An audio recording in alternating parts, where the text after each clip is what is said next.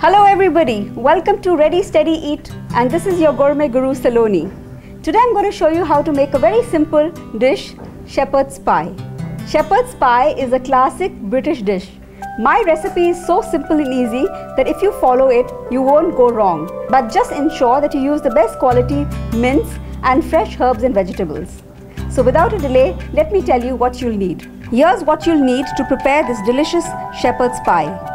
For the meat filling, you will need 2 tablespoons of canola oil, 1 red onion finely diced, 2 carrots finely diced, 2 sticks of celery diced, 2 cloves of garlic minced, 500 grams of good quality minced lamb, salt and freshly ground pepper, 2 tablespoons of all-purpose flour, 400 grams of chopped tomatoes or you can use tomato paste, 250 ml of chicken stock, 2 teaspoons of Worcestershire sauce, 1 tablespoon of finely chopped rosemary leaves, plus a few sprigs for garnish. For the potato mash, you will need 900 grams of potatoes, 100 ml of semi-skimmed milk or half and half, which is a light cream, a large knob of butter, 4 tablespoons of shredded parmesan cheese, salt to taste, 1 4 teaspoon of freshly ground black pepper and some peas and broccoli to serve with.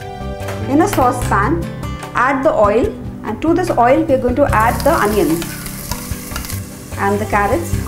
We are going to allow them to cook till they turn color for about 3 to 5 minutes. Now you can see it's changed color so I'm adding the garlic and also I'm going to add the celery at this point. To this add the mince and we're going to cook it till it changes color. We're going to add the pepper and the salt to taste. Now you can see that it's changed color. So I'm going to add the flour to this and let it cook for a little bit more. So this I'm going to add the rosemary, the stock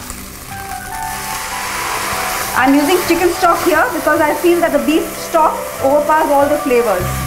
And to this I'm going to add the tomatoes. Let it come to a boil and then I'm going to cover it with a lid and let it cook for about 1 hour on low heat. And now goes in the sauce.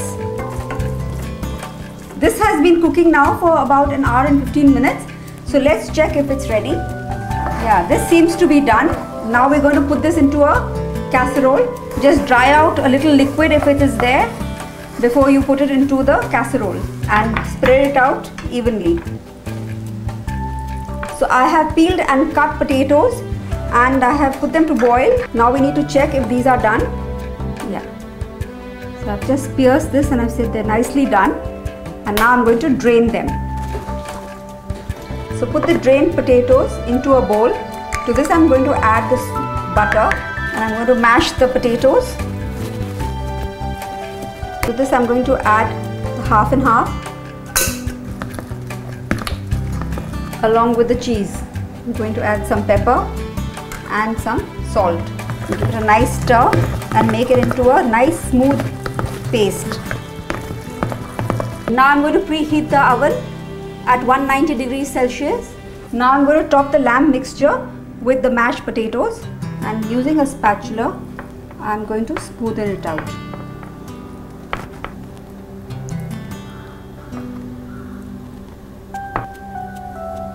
Now take a fork and make a pattern like this. I'm doing a basket weave here but you can do any kind of a pattern that you want. And I'm going to poke the remaining rosemary into the potato mash. Now put this into the oven and let it bake for about 25 minutes until the potatoes are golden brown. Wow, look at this. Fresh out of the oven, hot and delicious shepherd's pie, my ultimate comfort food. Serve it with fresh vegetables, broccoli and peas. Do try this recipe out and let me know how it turned out in the comment section below. But before that, don't forget to hit the like button. Subscribe to our channel for many more easy and delicious recipes. This is me, Saloni, signing off. Bye.